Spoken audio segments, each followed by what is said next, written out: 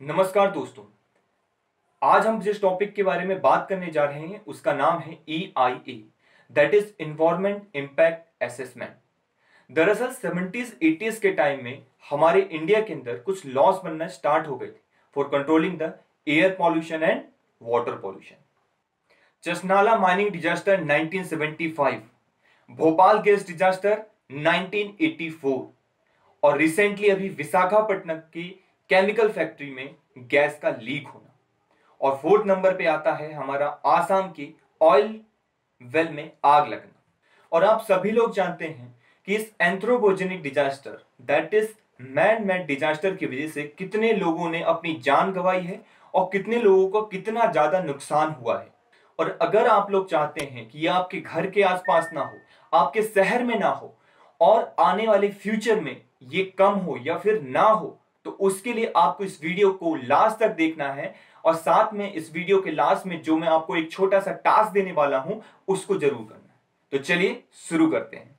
Bhopal gas tragedy 1984 के बाद Indian government लेके आती है इन्वायरमेंट प्रोटेक्शन एक्ट 1986 जिसके अंदर निकल के आता है E I A nineteen then उसे अमेंड किया जाता है ई आई ए ड्राफ्ट को 1994 में देन 2006 में। और रिसेंटली फिर उसे अमेंड करने की बात चल रही है 2020 के अंदर। जैसा कि आपको नाम से समझ में आ रहा होगा E I A environment impact assessment किसी भी प्रोजेक्ट का इन्वायरमेंट में क्या इंपैक्ट पड़ेगा, उसका पॉजिटिव इंपैक्ट भी हो सकता है और नेगेटिव इंपैक्ट भी हो सकता है।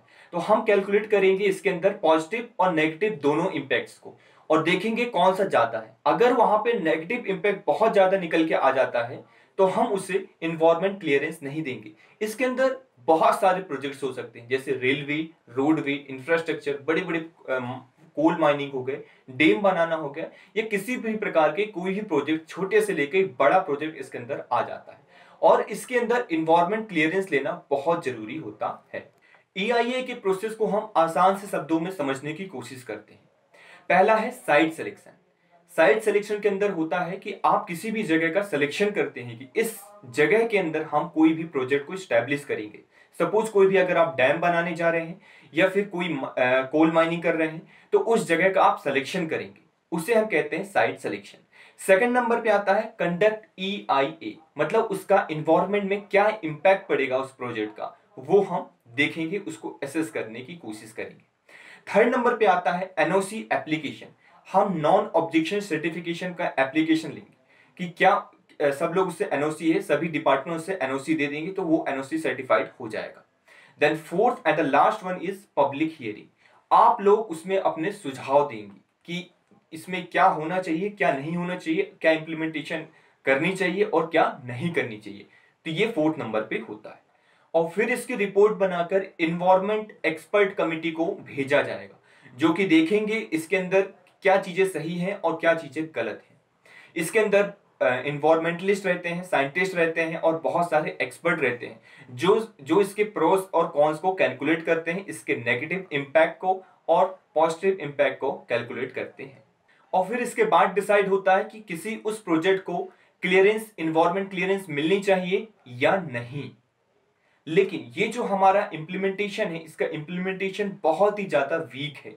और बहुत ही ज़्यादा वीक देखने को मिला है, जिसकी वजह से इतने सारे डिजास्टर हमारे सामने निकल के आते रहे हैं। गवर्नमेंट फिर आती है E I A to draft के साथ मार्च में, और उसके अंदर बहुत सारे रूल्स और रेगुलेशन को चेंज कर देती है। तो एक तरफ़ इन्वायरमेंटलिस्ट और एक तरफ़ गवर्नमेंट दोनों के बीच में तनातनी मची हुई थी। गवर्नमेंट ने पब्लिक हियरिंग मांगी कि आप 30 जून तक इसकी पब्लिक हियरिंग दीजिए, आप अपने सजेशन दे दीजिए। लेकिन ये मामला फिर जाता है दिल्ली हाई कोर्ट। और दिल्ली हाई कोर्ट के अंदर सुनवाई होती है और दिल्ली हाई कोर्ट का फैसला आता है कि इस डेट को एक्सटेंड करके 11 अगस्त कर दिया जाए। अब इस मैटर में गवर्नमेंट का कहना है कि देखिए, हम एक डेवलपिंग कंट्री है, हमें डेवलप करना होगा, हमें प्रोजेक्ट्स बनाना होगा। अगर हम इसी इन्वायरमेंट के क्लियरेंस में फंसे रहेंगे तो हम अपने प्रोजेक्ट्स को टाइम में पूरा नहीं कर पाएँगे और हमें लेट हो जाएगा और हम डेवलप कंट्री नहीं बन पाएँगे। अगर हम एक डेवलपिंग कंट्री है तो हमें रोड तो बनाना होगा इंफ्रास्ट्रक्चर भी तैयार करना होगा। तो इसलिए हम इन्वायरमेंट क्लियरेंस को थोड़ा सा साइड में रख रहे हैं। वहीं पे दूसरी तरफ़ इन्वायरमेंटलिस्ट कहते हैं, ये सिर्फ़ गवर्नमेंट अपना फ़ायदा दिख रही है। सिर्फ़ और सिर्फ़ पैसों की वजह से इन्वायरमेंट का नुकसान कर रही है। अब हम देखते हैं कि इसके अंदर जो चेंजेस हुए हैं, उनकी वजह से क्या क्या प्रॉब्लम्स निकल के आ रही हैं। तो पहला पॉइंट जो कि आपको बहुत ही ज़्यादा डेंजर और खतरनाक है वो है पोस्ट इन्वायरमेंट क्लियरेंस कहने का मतलब है कि अब प्रोजेक्ट्स पहले स्टार्ट हो जाएँगे और उसकी जो इन्वायरमेंट क्लियरेंस है वो बाद में मिलेगी। ये सबसे खतरनाक पॉइंट है। इसको अप्रैल में सुप्रीम कोर्ट ने भी कहा था कि जो एक्स फैक्टो इन्वायरमेंट क्लियरेंस है वो एक गलत है। ऐसा रूल्स ऐसे रेगुलेशन ऐसे लॉस नहीं बनने चाहिए। ये सुप्रीम कोर्ट ने भी कहा। लेकिन अब आप खुद सोच सकते हैं कि कल को अगर कहीं माइनिंग हो रही है, कहीं पे भी ऐसे प्रोजेक्ट्स बन रहे हैं तो गवर्नमेंट कहेगी कि आप प्रोजेक्ट्स बना लीजिए, आप प्रोजेक्ट स्टार्ट कर दीजिए, आप बहुत सारे पेड़ पौधों को काट दीजिए और वहाँ पे माइनिंग स्टार्ट कर दीजिए इन्वायरमेंट क्लीनेस हम बाद में लेते रहेंगे। तो ये उनके लिए अब सही होगा। अगर ये ड्राफ्ट आ जाता है तो। सेकंड पॉइंट है reduce the time period for public hearing मतलब जो आपको अभी तक टाइम पीरियड मिला था पब्लिक हियरिंग का तीस दिन था, जो कि पहले ही कम था, और अब उसे डिक्रीज करके कितना कर दिया गया है? ट्वेंटी डेज़ थर्ड पॉइंट है who will report the violation सबसे इंपॉर्टेंट और सबसे खतरनाक पॉइंट है। देखिए, अब इसके अंदर कहा गया है कि जो वायलेटर है, वो ही सिर्फ़ रिपोर्ट कर सकता है। ये तो बिल्कुल ऐसे ही कहने वाली बात होगी कि जो चोर है, वो चोरी करने जा रहा है और वो खुद ही कहेगा कि मैं चोरी गलत कर रहा हूँ, मुझे रोको। तो यही हो चुका। आप आप लोग रिपोर्ट नहीं कर सकते हैं। अगर ये ड्राफ्ट आ जाता है तो इसके बाद पब्लिक यहाँ पे रिपोर्ट नहीं कर सकती। सिर्फ़ वायलेटर्स ही और गवर्नमेंट ही रिपोर्ट कर सकती है। And the fourth point is strategic exemption इसके अंदर क्या होता है कि government 100 kilometre road along the LAC line LAC line से 100 किलोमीटर तक के एरिए को स्ट्रेटेजिक लोकेशन दे देगी। और उसके अंदर वो कोई भी प्रोजेक्ट्स बना सकती है और उसका, उस प्रोजेक्ट का एक भी इंफॉर्मेशन पब्लिक के साथ शेयर नहीं किया जाएगा। अब आप खुद सोचिए एल का इतना बड़ा एरिया नॉर्थ ईस्ट तो पूरा का पूरा उसके अंदर आ जाता है हंड्रेड किलोमीटर एरिया के अंदर तो।